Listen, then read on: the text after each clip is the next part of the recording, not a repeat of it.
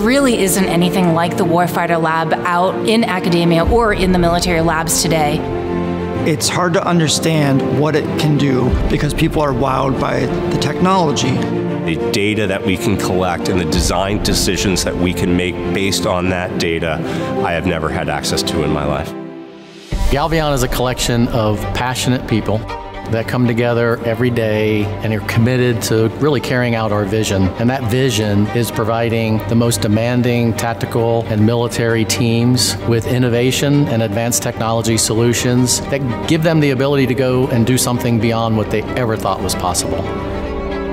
We started this 15 years ago really buying into the idea that helmets were about to move from a protective product, something that just sits there and gets hit, to something that's survivable and lethal, something that allows you to see in the dark, to communicate, to use modern equipment like head-up displays, sensors, emitters, and computation on the helmet.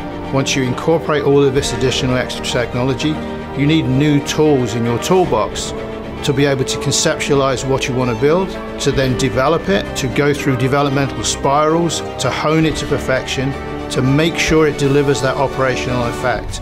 And that's where the Warfighter Lab comes in. The Warfighter Lab is a purpose built, scientifically driven lab full of state of the art, custom designed equipment that helps us measure and record performance for the elite end users within the military and law enforcement community. Whether it's software, hardware, we can print 3D prototypes, bring it into the lab, test it that day, get feedback that day, implement a design change, and retest it the next day. It's unprecedented.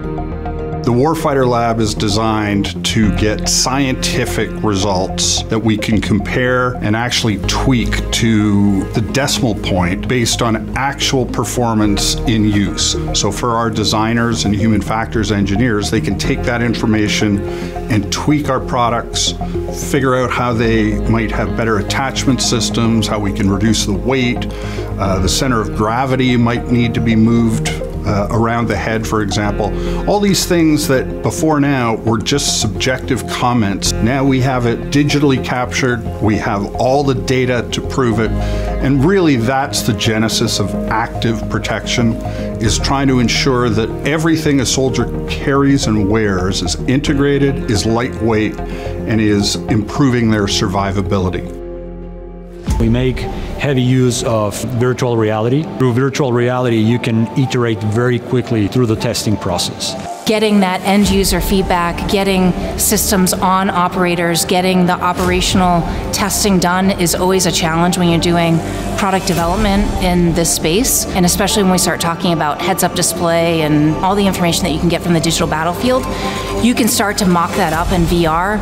You can move around a configurable shoot house. You can start to see the impacts of that before you ever spend time actually putting it into a system. So you're saving time and money there just by putting it in VR first. We can increase the cognitive load and we can see how advances in software, in graphics, in AR, VR, uh, in button presses, uh, and even simple menu systems can actually reduce that cognitive load to enable them to focus on the mission instead of trying to operate the equipment.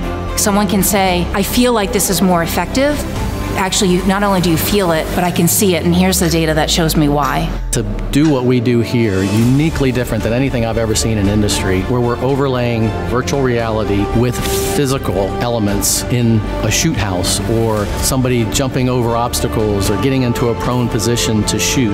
Now you're bringing in the whole human element into our design, and that's exactly why this Warfighter Lab was designed getting out in the field, that takes a lot of planning.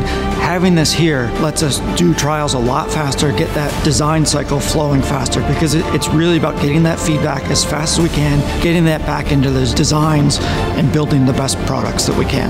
We are building systems for the end user. How that fits, how that feels, how that's carried, how much it weighs is all very important of all the possibilities. We zero in on the ones that are going to increase performance in terms of survivability and lethality.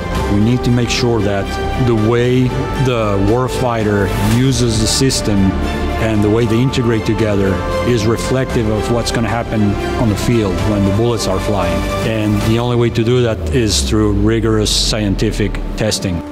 The Warfighter Lab fits perfectly with the Galvion mission because our focus is on the soldier, on the person, not on products. It's about bringing it all together and making sure that everything works together for the benefit of the user. As things get more advanced and technology gets more complex, you have to be able to put it into a scenario where you can test that. Advanced design, very important.